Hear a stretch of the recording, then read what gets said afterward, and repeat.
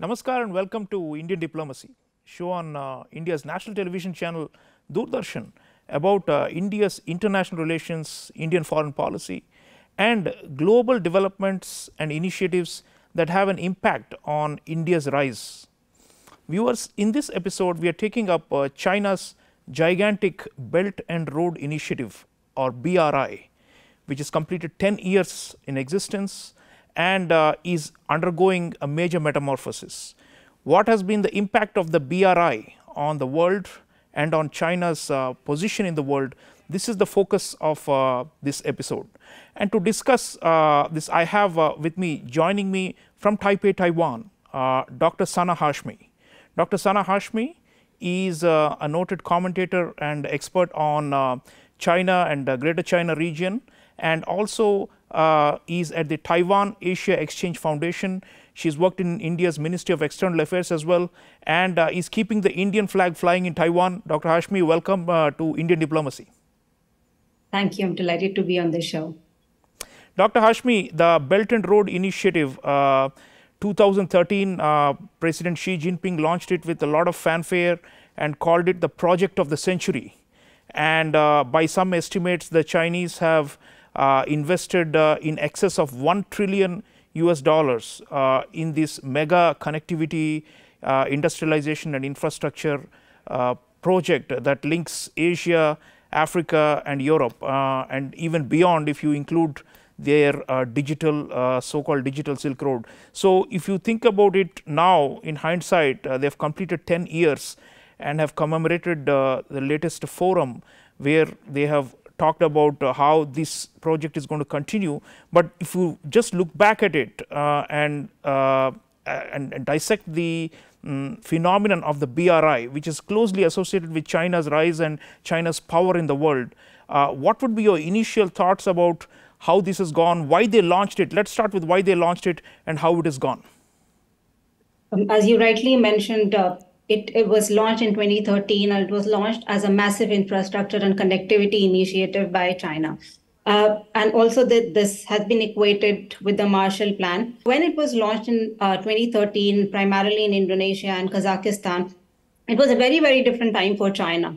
And its relationship with the West uh, were very different from how they are today. Mm. So, of course, over the years, the drivers, objectives, and motivations uh, why China started this massive infrastructure initiative have undergone significant transformations. Uh, but then, talking of why was it actually launched? Uh, I feel that it could be driven by a number of uh, reasons. There were a number of uh, motives that China actually initiated, initiated such a huge infrastructure project. So, in my view, the first reason was perhaps that uh, BRI has been tightly linked to Xi Jinping's legacy. Uh, it's I feel that less connected to the idea of China per se getting its rightful place at the global stage, but it's more about Xi Jinping legacy.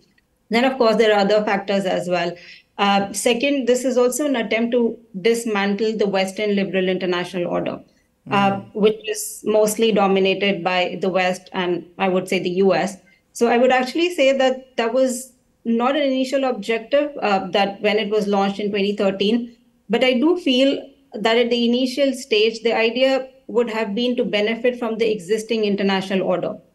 But over the years, uh, the pushback that has see, uh, that has been received by the uh, uh, Belt and Road Initiative, and a lot of Western countries have pulled out from the Belt and Road Initiative. So I believe that in the backdrop of this context, uh, China has been trying to present itself as a custodian of a regional and global order mm. that is not led by the Western countries. And the rules have to be set by the developing world. And when we say developing world, we are actually saying that China wants to set the rules of uh, engagement with the world. So the, cho- the change in tone is very well noticed during the uh, recently concluded Belt and Road Forum as well, uh, when Xi talked about uh, the ideological confrontation, geopolitical rivalry, and bloc politics not being a choice for us. Mm. So there's also an emphasis on us. So the projection of this idea that it has actually become something that is us versus them.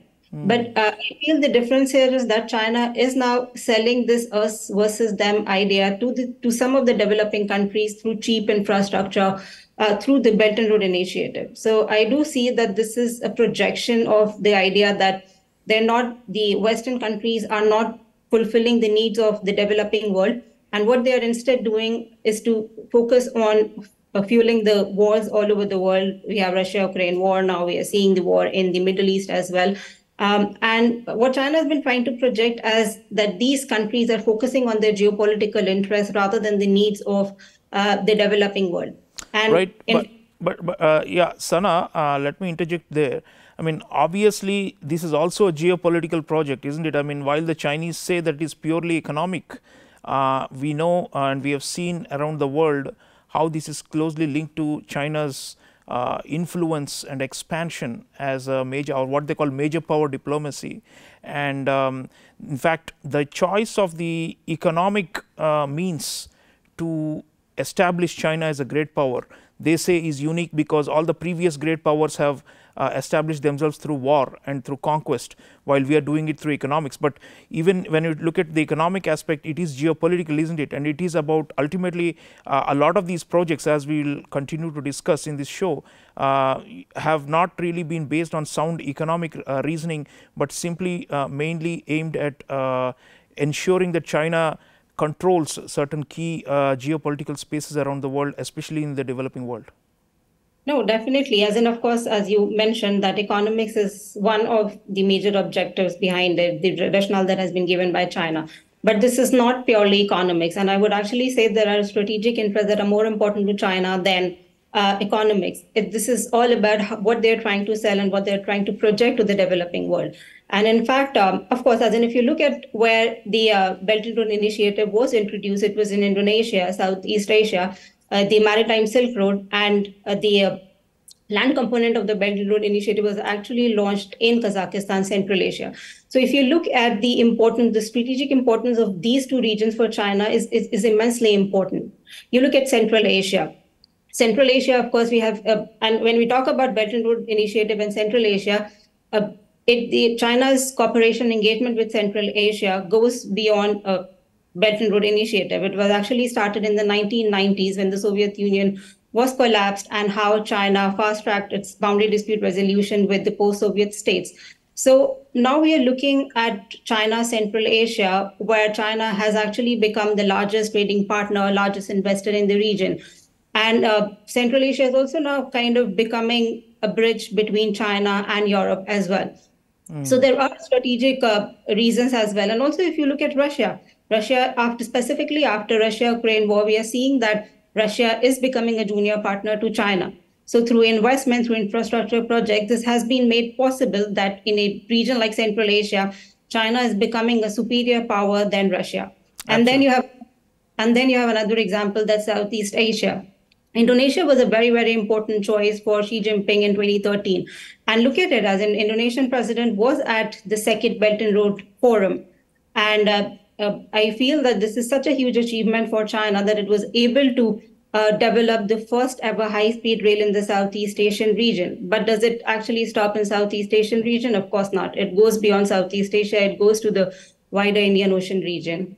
Yeah, and uh, of course, uh, the parameters of the BRI have uh, continuously expanded just as China's core interests have been expanding as they define it. Uh, but um, viewers, the one of the big fulcrums of the Belt and Road has been Africa. And uh, lately, China has started to downsize its loans and uh, investments under the BRI in Africa, and there has been a reduction compared to the early years of the BRI. And uh, there is the problem of sovereign debt that is rising in a lot of the uh, highly indebted African countries who owe so much to China now that China is unable to absorb the losses and is actually cutting down some of its uh, initial grandiose uh, and overambitious investments in the region. Let's uh, watch this report about uh, the BRI in Africa and continue the discussion. Chinese sovereign lending to Africa fell to the lowest level in nearly two decades, according to data from Boston University's Global China Initiative. The figures underscore Beijing's shift away from a decades long big ticket infrastructure spree on the continent. The drop in lending comes as several African nations struggle with debt crises. China's own economy is also facing headwinds. Africa has been a focus of President Xi Jinping's ambitious Belt and Road Initiative. It was launched in 2013 to recreate the ancient Silk Road and extend China's geopolitical and economic influence through a global infrastructure development push. Boston University's Chinese Loans to Africa database estimates Chinese lenders provided $170 billion to Africa from 2000 to 2022. But lending has declined sharp since a 2016 peak. Nine loans totaling $994 million were agreed last year, marking the lowest level of Chinese lending since 2004. African governments largely welcome Chinese lending and infrastructure projects, but Western critics have accused Beijing of saddling poor nations with unsustainable debt. Zambia, a major Chinese borrower, became the first African country to default during the global health crisis in late 2020. Other governments, including Ghana, Kenya, and Ethiopia, are also struggling. China, meanwhile, is facing its own problems at home. Policymakers are struggling to revive growth amid persistent weakness in the crucial property industry, a faltering currency, and flagging global demand for its manufactured goods. However, the decline in loans does not necessarily mean an end of Chinese engagement in Africa. The Boston University analysis found trends including fewer loans over $500 million and more focus on social and environmental impacts that appear to reflect China's stated push towards a more high quality, greener Belt and Road initiative. So, viewers, there's been some major adjustment in the Chinese BRI, and what we are seeing is uh, there is a shift from uh, what they had initially, which is focus on physical infrastructure, big dams, big highways, tunnels, bridges, uh, railroads, uh, airports, and, and so on, and big convention centers in many developing countries, especially in Africa. And now, as we are seeing, um, the debts, the bad debts have piled up. Uh, China is unwilling to write off the debts and is therefore now uh, trying to downsize its risk uh, and is also bringing in other elements because the criticism has been that China has been spreading a lot of um, pollution throughout the world by financing more and more coal fired power plants. So, coming back to Dr. Hashmi, Dr. Hashmi, um, Africa, a lot of these countries, uh, very, very low income countries, uh, initially lapped up uh, happily the loans that the Chinese were throwing at them but now um, uh, they, they have realized that uh, they took on a lot more debt than they could afford and are unable to repay the Chinese. And now, so there's all these, you know, agonizing negotiations going on with how to roll over the debt and how to restructure the debt. And in some cases, some of these countries have come perilously close to financial collapse. Um, and uh, as much as 40 to 50 percent of the GDP is owed to China now in the form of debt. So, uh, when you look at this, um, they say on one hand that China helped build the infrastructure and spurred uh, growth uh, and trade in Africa. Uh, but on the other hand, you have this, you know, if you take a longer term view over 10 years, it's sufficient time for us to make a judgment. It does look like a kind of neo-colonialism.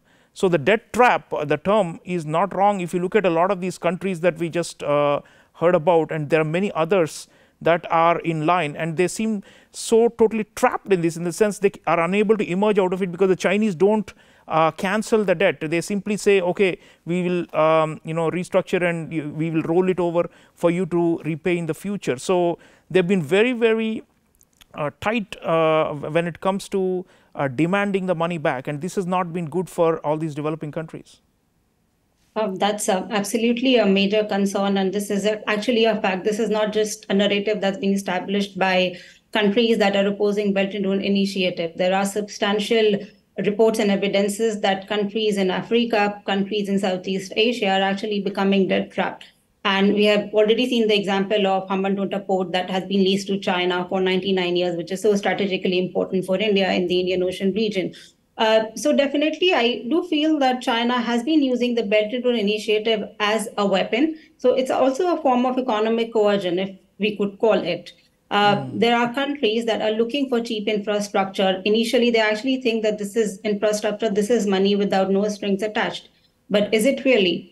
We have been seeing at least since 2017, 2018 that countries are realizing that this is just not very feasible for us. We are actually moving towards economic collapse. But then I do not really see any kind of solution to these countries because these countries are economically weaker countries. And mm. Chinese money, Chinese infrastructure, when they're doing everything, but in return, what they want is their strategic interest to be fulfilled. And in the long term, what we are seeing that these countries are actually moving towards uh, financial collapse. But I think in the long term, this is going to happen. This is already happening. Mm. But these countries are just they do not really have any other alternative. I do feel there's a realization among countries. This is one of the reasons why, for example, India proposed the uh, uh, admission of African Union to the G20. Uh, there was so much enthusiasm because it was seen as a ray of hope uh, for uh, these countries to actually collaborate with the Western world. And this is one of the reasons why India is actually seen as a credible uh, alternative uh, country that is providing a counter to the Belt and Road Initiative and actually a bridge between uh, global south and global north, the developed world and versus the developing world. Yeah, and uh, Dr. Hashmi, there's also the question of the Chinese economy itself. We saw in the report that China's own economy has come to a screeching slowdown, uh, if not a complete halt. And the projections medium to long term are the new normal is going to be just 2 to 3 percent annual GDP growth in China. The same China which at the time when the Belt and Road was launched 10 years ago was clocking 7, 8 or even 10 percent per annum, uh, you know, breakneck uh, speed of uh, economic growth is now much slower. The structural fundamentals are weak. The demographics are getting worse for them.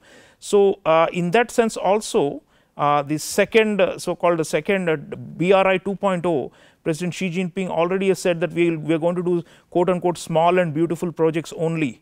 So, it looks like there is a reality check and uh, they are unable to actually sustain the pace of lending and the kind of debts that uh, they had accumulated as a creditor. And I think uh, it, it does look like uh, the BRI, if not, is not going to vanish or not, uh, but certainly is not going to have the same kind of uh, attraction because the money is drying up. And in fact, uh, many people noted that this time the 2023 Belt and Road Forum in Beijing only had 23 heads of government and state in attendance when the previous one in 2019 had 37 heads of uh, states and government. So, if presidents and prime ministers are not showing up anymore in China for their grand celebrations of BRI, it does mean that they are realizing that uh, maybe uh, the moolah is not going to come anymore.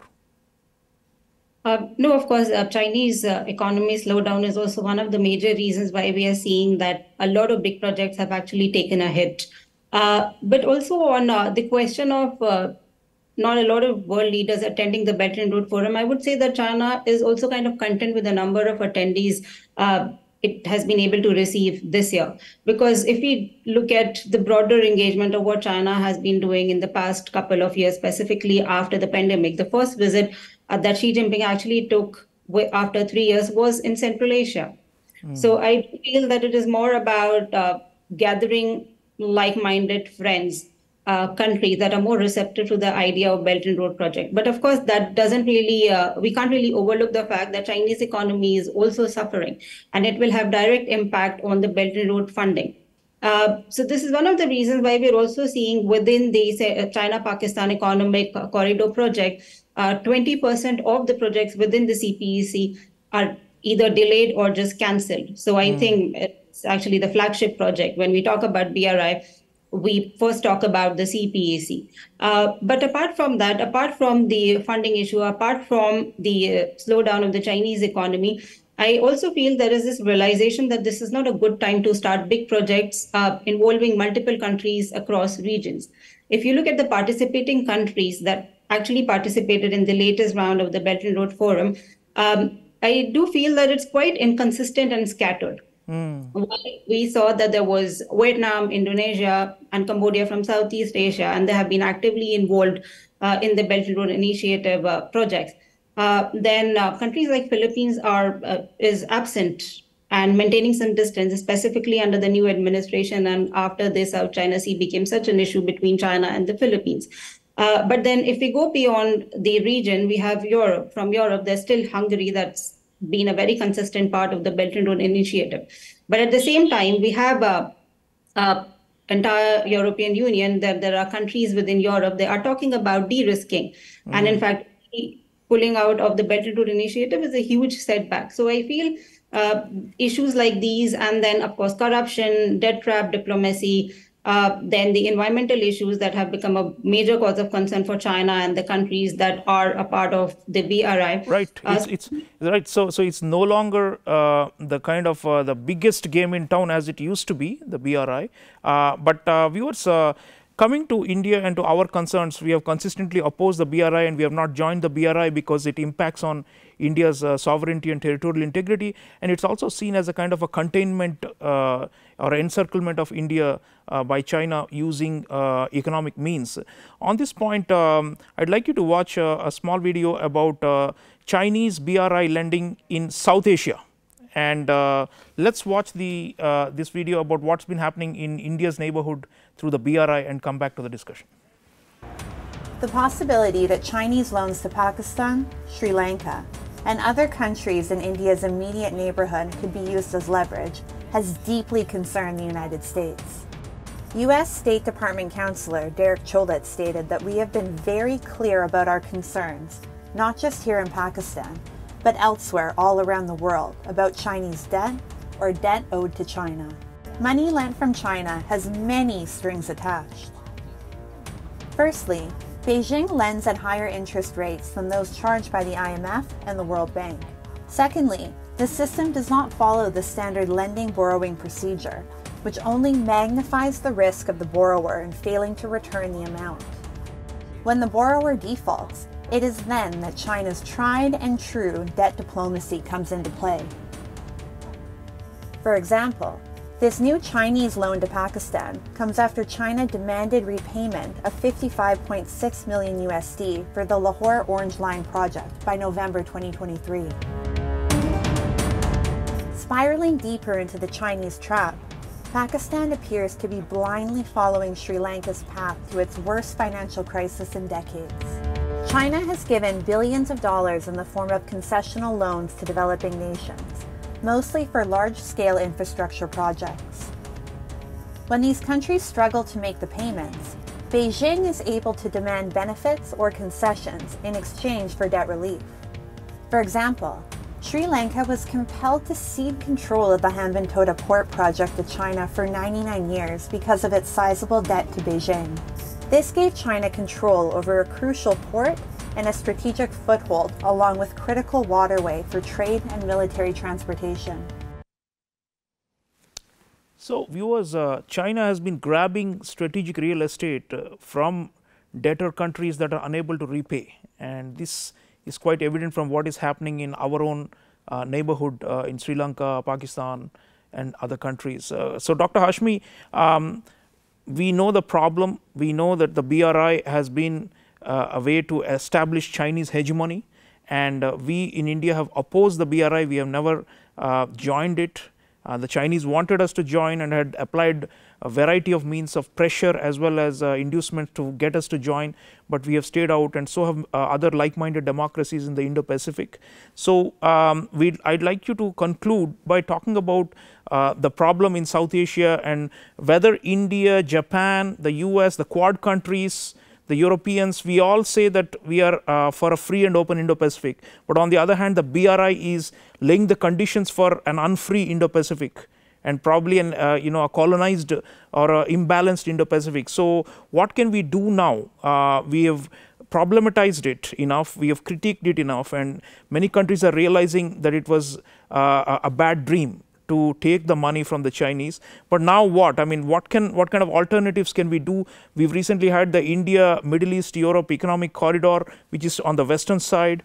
Uh, there is the Indo-Pacific Economic uh, Forum launched by the Americans, which we are part of in the in the Indo-Pacific in the eastern Indian Ocean and beyond. But then uh, ultimately the question is um, what more can we do now? Uh, now that the BRI is slowing down, now that the Chinese are in trouble financially, is this the right time for us, uh, like minded countries, a coalition uh, to come forward and put a real robust alternative so that uh, poorer countries are not uh, con continue to be victims of China's hegemonic policies?